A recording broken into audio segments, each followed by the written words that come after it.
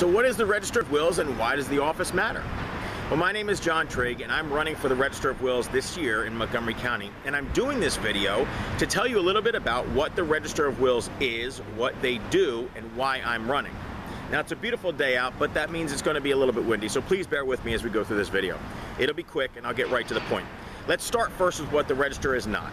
All right, it is a non-legislative based office, meaning we don't write laws, we don't create policy, we don't go down to Harrisburg, we're not testifying in front of Congress. What the Register is, is a customer service based office. It's a managerial supervisory position. Now, the Register of Wills has five main functions in the office, and their functions are, as it says in the name, dealing with wills and probating estates, that's the first one. The second is that we're the clerks for the Orphans Court, meaning we oversee scheduling we oversee the processes. The third is we maintain all adoption petitions from within the county. The fourth is that our office actually issues the marriage licenses. And the fifth function, we collect inheritance taxes, which in 2018 was about $80 million. So those are the functions of the office, all of which are customer service based because they all require face-to-face -face interaction. Now, the office should run, should run as a customer service based office.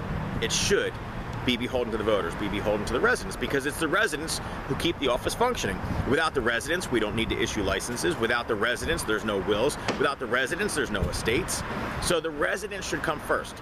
Right now, this office runs as a governmental bureaucracy, meaning that you have to take an entire day out of work, head down to Norristown, pay for parking, go through security, go upstairs, take a number, wait your turn, hang out and hope they move through that line quickly.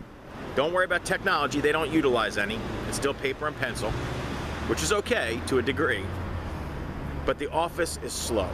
It's slow to respond, it's inefficient, it's inaccurate, and according to the register himself, who's been in office now for 12 years, their customer service levels are only as good as efficiency and accuracy will allow. He said that in a committee of 70 voters guide. Now, the office can do better if it's run as a true business entity. Business survives on customer service. Without it, businesses die. That's a fact. That's the way business runs. I've got 25 plus years in business on the executive level, managerial level. I've owned several businesses. I plan on bringing that experience into this office with me. We are going to turn this into a customer service based office. Now, I happen to believe that if you put service first, and with solid leadership, efficiency, accuracy, all those other issues, they go away with good leadership. With poor leadership, those are problems. Those are things that need solutions. A good leader comes in and cleans that up. It's taken 12 years, he hasn't done it yet. I'll do it within six months.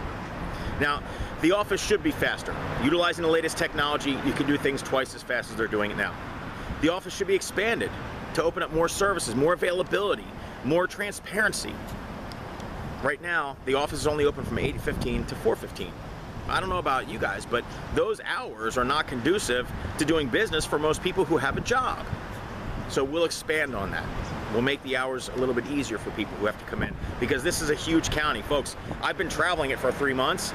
This county, it could take someone well over an hour to get to Norristown from some corners of this county. It's a long drive and then have to pay for parking on top of that, wait their turn going through security, wait their turn getting in the office. This is a full day procedure when some of these functions could be done in as little as five minutes with a computer and a video camera. It's done that way in several of the other largest counties within the state. It should be done that way in Montgomery County. We're the third largest county in the state, yet we utilize almost no social media whatsoever.